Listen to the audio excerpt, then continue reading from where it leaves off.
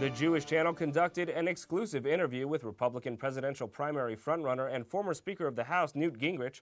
Here's a clip in which he discusses his ideological similarity to Israeli Prime Minister Benjamin Netanyahu.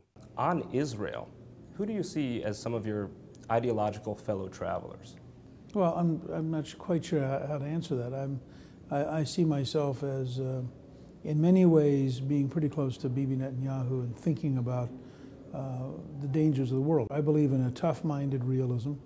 I believe if somebody is firing rockets at you, they're probably not engaged in a peace process. I believe if somebody goes around and says you don't, you don't have a right to exist, they're probably not prepared to negotiate for peace. I think if someone says they want to wipe you out, you should believe them.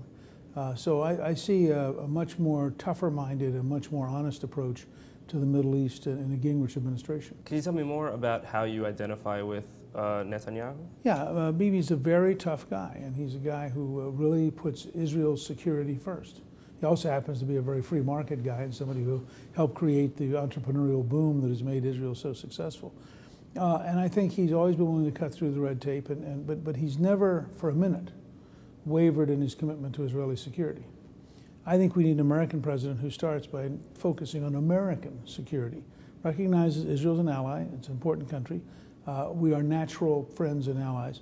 But let's start with what is in America's interest, and let's do it. You can see the full interview with former Speaker Gingrich on the Jewish Channel. The Jewish Channel is available on cable Time Warner Cable Channel 528, IO Optimum Channel 291, RCN Channel 268, Bright House Channel 330, Verizon Fios Channel 900, Cox Channel 1, Frontier Communications, and now on Comcast Cable in the on demand menu under Premium Channels.